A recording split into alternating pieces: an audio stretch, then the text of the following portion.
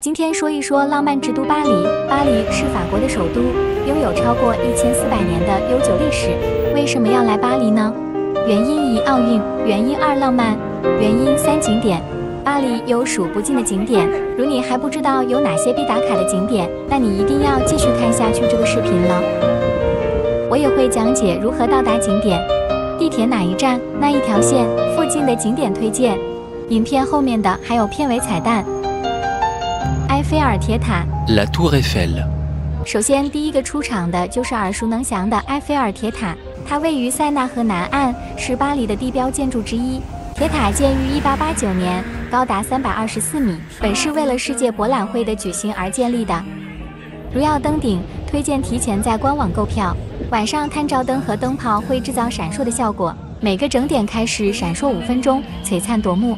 凌晨一点才熄灯。埃菲尔铁塔作为法国著名的地标建筑，身为旅客的你当然要去打卡拍照。以下是我个人推荐的绝佳拍铁塔地点：夏乐宫、战神广场、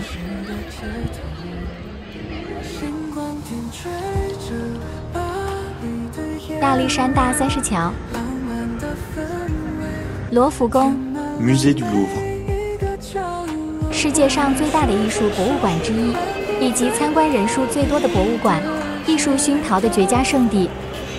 卢浮宫始建于一二零四年，曾经是法国的王宫，居住过超过五十位国王和王后，超过三万五千件馆藏。其中最著名的三大珍宝：蒙娜丽莎、胜利女神、断臂维纳斯。建议晚上来被域名设计的玻璃金字塔拍照。卢浮宫金字塔入口是排队流量最大的。可从地下快速通入口如 Carousel du Louvre 直接进，乘坐地铁一号线到 Louvre Rivoli 站，也可坐地铁一七号线到 Play Royal 站。参观博物馆后，可去杜乐丽花园，非常适合散步拍照，也可选择漫步到艺术桥。巴黎圣母院 Notre Dame de Paris。接下来是巴黎圣母院，位于塞纳河中央的西堤岛上，哥德式建筑的旷世杰作。圣母院约建造于一六三年到一千两百五十年间，虽然大火后内部仍在努力赶工维修中，外观现在已经很有观赏性了。目前官方宣布的是二十四年十二月开放，期待它重现昔日的辉煌。您可搭乘地铁 M 四线到达 Site 站下车，或搭乘 RERBC 线。Saint Michel Notre Dame。看完圣母院后，可以去莎士比亚。距巴黎圣母院仅步行五分钟，旁边就是世界最美书店之一——莎士比亚书店。每天来这里朝圣打卡的人超多，可惜室内是不允许拍照的。蒙马特高地，Montmartre，艺术气息非常浓郁的蒙马特。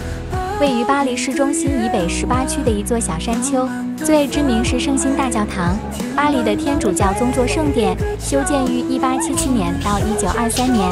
白色的圣心大教堂风格奇特，既像罗马式，又像拜占庭式，绝对不容错过，排队进教堂参观。教堂前的小广场是俯瞰巴黎全景的最佳地点，也可探索小丘广场。这里是著名画家的摇篮，比如毕加索。艺术家随身携带他们的画板，提供肖像画服务。蒙马特被誉为艺术区，这里到处都是非常易出片。最浪漫的打卡地如爱墙、玫瑰餐厅、葡萄园。温馨提示，请注意保管好您的财物，谨防扒手。十八区晚上治安一般，因为蒙马特山下的皮加尔是红灯区。蒙马特上下坡较多，请准备一双舒适的鞋子。凯旋门 Arc de Triomphe。凯旋门，法国荣耀的象征，是巴黎中心最知名的地标。凯旋门位于戴高乐广场中央，1836年全部竣工，世界上最大的一座圆形拱门。游客可以穿地下通道上到凯旋门下方。最感人的地方莫过于门廊下方的无名烈士墓。登顶需爬两百八十四楼梯，俯瞰巴黎市景的绝佳之地。全价票十六欧元。许多游客都喜欢在小小分隔岛上马路中间打卡，不过车流量很大，一定一定要小心安全。出站就可以看到凯旋门、香榭丽舍大道、Les Champs-Élysées、享誉全球的名店大街，是巴黎必去的经典打卡地。LV 行李箱装饰的酒店也坐落在此街道上，女人的购物天堂。这条大道还有营业到凌晨一点的快餐店、咖啡馆、精品店和电影院。香榭丽舍大街位于巴黎第八区，从这里可以一直走到协和广场。如何到达？共有三个地铁站。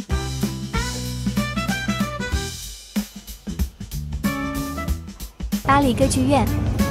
Opéra Garnier。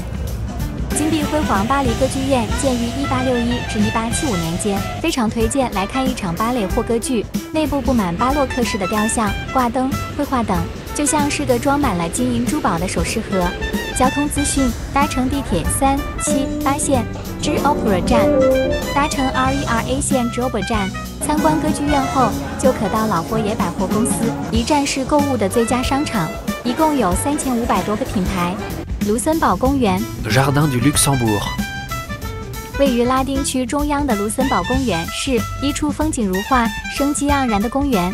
建于1612年，原本是法国王后的宫殿。公园里还拥有一百零六令人惊叹古典的的雕塑。坐在公园的绿椅上，看着来往散步的人，享受如画般的时刻。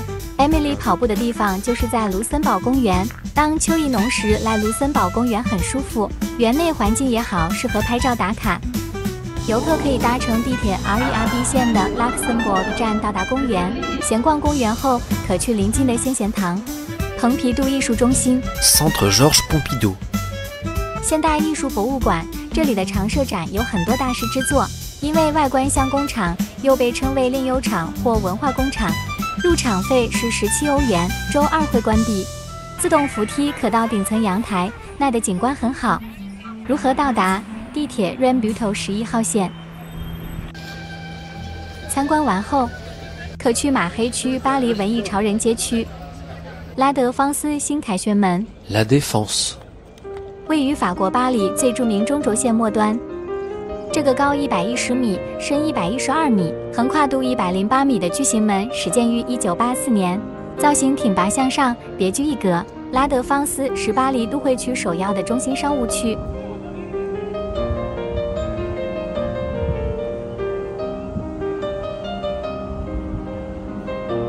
拉德芳斯是欧洲最大的公交换乘中心，RER 高速地铁、轨道交通、高速公路等都在此交汇。